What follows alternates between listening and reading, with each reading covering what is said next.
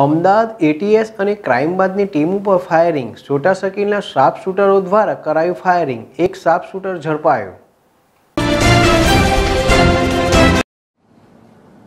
અમદાવાદ શહેરથી ચોંકાવનારા સમાચાર સામે આવી રહ્યા છે, જેમાં અમદાવાદ એટીએસ અને ક્રાઇમ બ્રાન્ચ પોલીસ ટીમ પર છોટા શકીલના શાર્પ શૂટરો દ્વારા ફાયરિંગ કરવામાં આવ્યું છે.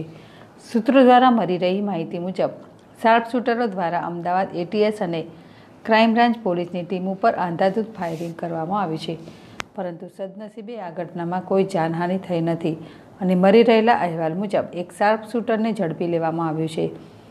તમને જણાવી દઈએ કે અમદાવાદના રિલીફ રોડ પર આવેલી વિનસ હોટલમાં શાર્પ શૂટર આવ્યા હતા અને તેમના નિશાને ભાજપના નેતા ગોરધન ઝડપિયા હોવાનું જાણવા મળ્યું છે.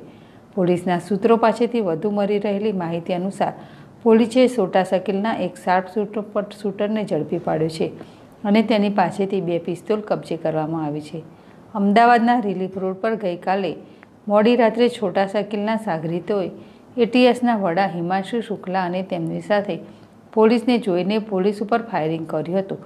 પરંતુ પોલીસની ચોકસાઈ અને બહાદુરીને કારણે કોઈ જાનહાનિ થઈ ન હતી. તો બીજી તરફ પોલીસે એક આરોપીને ઝડપી પાડ્યો હતો. જ્યારે બીજો આરોપી ઘટના સ્થળેથી ફરાર થઈ ગયો હતો. અમદાવાદ એટીએસ અને ક્રાઇમ બ્રાન્ચ પોલીસ ટીમ ઉપર થયેલી ફાયરિંગની ઘટનામાં મુંબઈના શાર્પ શૂટરોનું કનેક્શન ખોલ્યું છે.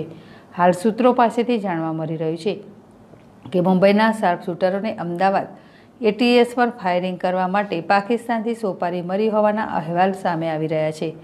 હાલ અમદાવાદ શહેરમાં એટીએસ અને ક્રાઇમ બ્રાન્ચ પોલીસ ટીમ ઉપર થયેલ ફાયરિંગની ઘટનાથી સમગ્ર શહેરમાં તંગદિલી ફેલાઈ ગઈ છે. તો બીજી તરફ અમદાવાદ એટીએસ દ્વારા આ ઘટના સંદર્ભે વધુ તપાસ હાથ ધરાઈ છે અને ગૃહ વિભાગ દ્વારા ગોરધનભાઈની સુરક્ષા વધારવામાં આપી, આદેશ આપી દેવામાં આવ્યા છે. વિશાલ રાજપૂત જેડેશ ટીવી અમદાવાદ.